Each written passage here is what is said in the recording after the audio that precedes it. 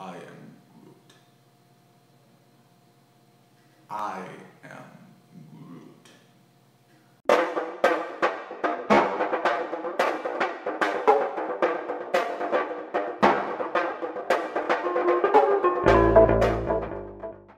Hey guys, welcome back to Brophy Time. This is Angel Brophy. I'm gonna here doing a review for Guardians of the Galaxy, and man, this movie is just awesome.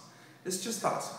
It's fun, has a lot of action, and let's just run through it a little bit. The main plot point is that uh, we start with Peter Quill, and he's basically like a raider, and he finds uh, orb, and this orb is basically being pursued by several people at the same time, but he just wants it to catch in on it. So along the way, he finds uh, basically stumbles upon people who want it for their own purposes, including Gamora, and then he stumbles upon a Rocket and Groot who want want him to cash in a reward for him, and they get caught and go to prison together. Wow. Well, there you go. so they get to know each other and they just basically team up to get away from the prison and they gradually find out what this orb is about. Now, the movie is just awesome. It has that feeling of um, Star Wars meets Star Trek meets Indiana Jones meets, uh, I don't know, it's just a lot of uh, basically genres smashing together, but they work really, really well.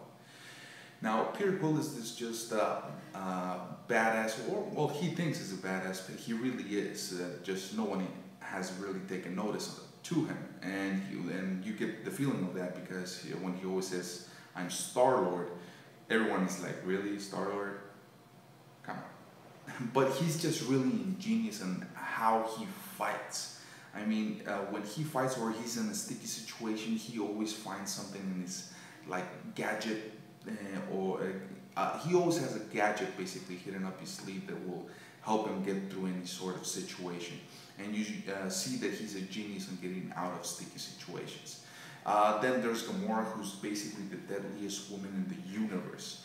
And uh, you get that feeling because when uh, they're in prison, you feel that tension where everybody like really hates her because apparently she killed several family members uh, of of some inmates, and also since she has a reputation of being uh, Thanos' lackey or daughter in this case, uh, it uh, really affects her.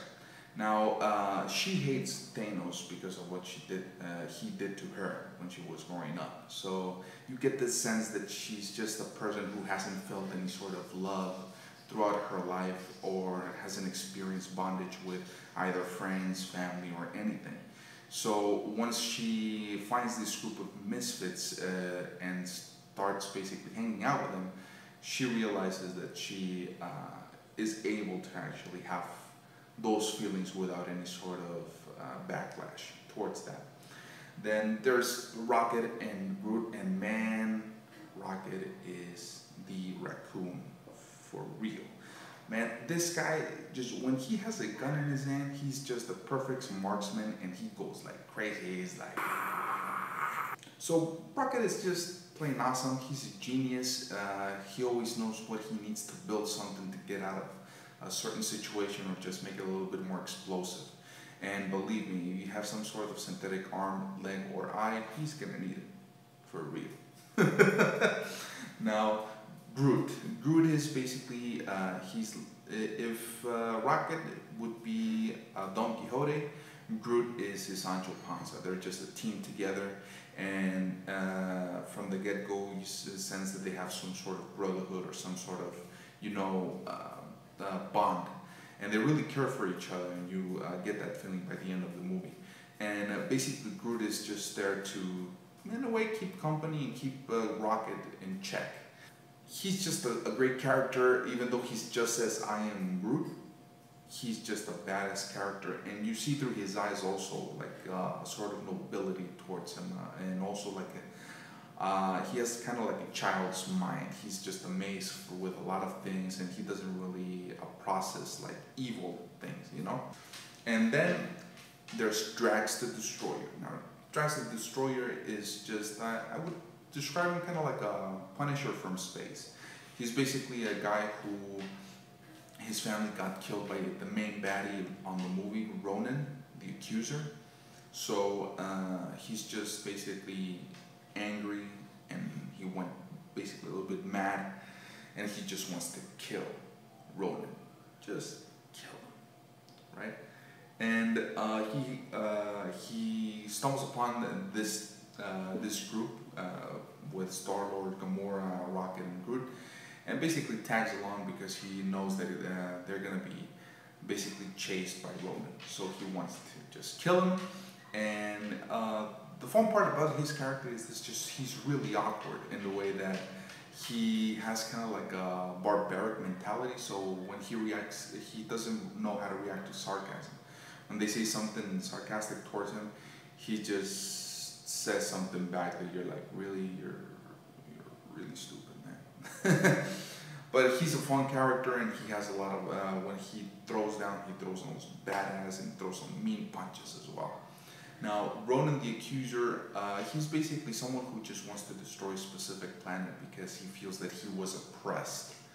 And, uh, and uh, the, this planet and his planet have had some sort of uh, peace treaty uh, done recently, but he's not, he doesn't agree with that. So he just wants to destroy this planet. And for that, he seeks Thanos' help.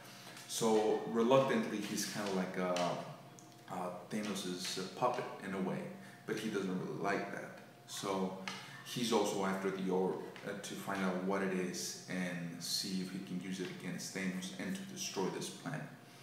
But the movie is just plain awesome. Uh, also, the 80s feel to it is just awesome because, well, Peter Quill is a child of the 80s. He, when he got adopted at the beginning of the movie, it was 1988. So whenever he has a change of mood or even his references come from the 80s and back. So he, we get just a really, a lot of 80s reference uh, situation. There's one part when where he's like being hassled by someone and goes like, hey, let me go Teenage Ninja Turtle, you know, stuff like that.